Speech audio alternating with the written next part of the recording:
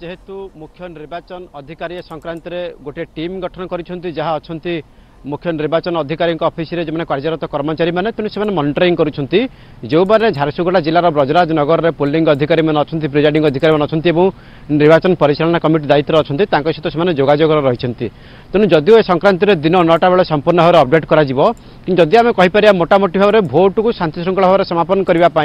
সম্পূর্ণ ভাবে ব্যাপক আরেঞ্জমেন্ট হয়েছে যা মুখ্য নির্বাচন অধিকারী দুই দিন তলে প্রেস মিট করে সম্পূর্ণ ভাবে অবগত করে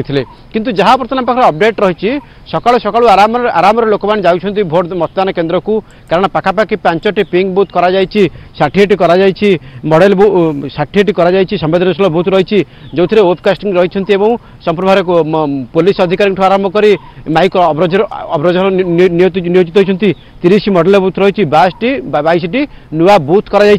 এবং তা ভিতরে দুই লক্ষ চৌদ হাজার আটশো অঠস্তরি জন মতদাতা মতাধিকার সাব্যস্ত করবে এবং দুইশ অনাশিটি মতদান কেন্দ্র রয়েছে তেমন ভোটকে সুরক্ষার ସମାପନ କରିବା ପାଇଁ ବ୍ୟାପକ ପୋଲିସ ଫୋର୍ସ ମତ ନେଇଛନ୍ତି ଏବଂ ତିନି କମ୍ପାନୀ ସେଣ୍ଟ୍ରାଲ ଆର୍ମ ଫୋର୍ସ ମଧ୍ୟ ନିୟୋଜିତ ହୋଇଛନ୍ତି ତେଣୁ ସବୁଠୁ ଗୋଟେ ବଡ଼ କଥା ହେଉଛି ଯେତେବେଳେ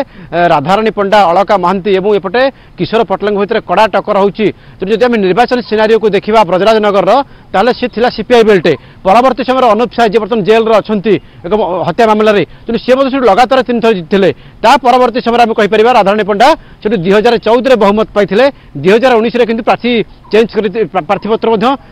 ଯେଉଁମାନେ ଛିଡ଼ା ହୋଇଥିଲେ